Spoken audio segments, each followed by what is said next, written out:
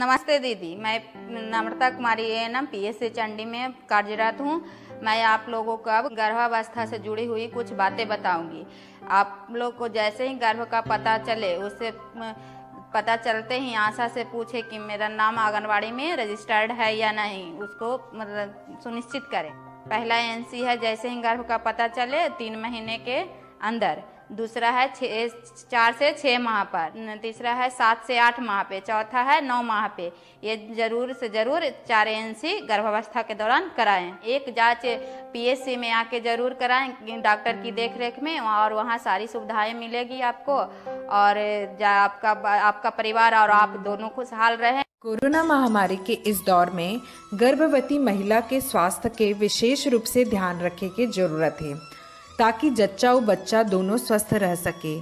ए दौरान एएनसी जाँच से जुड़े सभी जानकारी पर आप मन एएनएम या मितानिन दीदी से फ़ोन पे भी बात कर सकता हूँ एएनसी जाँच या संस्थागत प्रसव या नज़दीकी स्वास्थ्य केंद्र में जाए पर 102 नंबर एंबुलेंस के निशुल्क सुविधा के भी लाभ उठा सकते हो स्वास्थ्य केंद्र में जाँच समय, अपन नाक और मुँह मास्क या रुमाल से ज़रूर ढक कर रखो।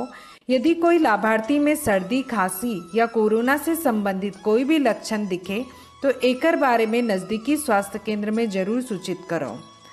एकर अलावा खांसते या छींकते समय हमेशा रुमाल, कोहनी या मास्क के उपयोग करो।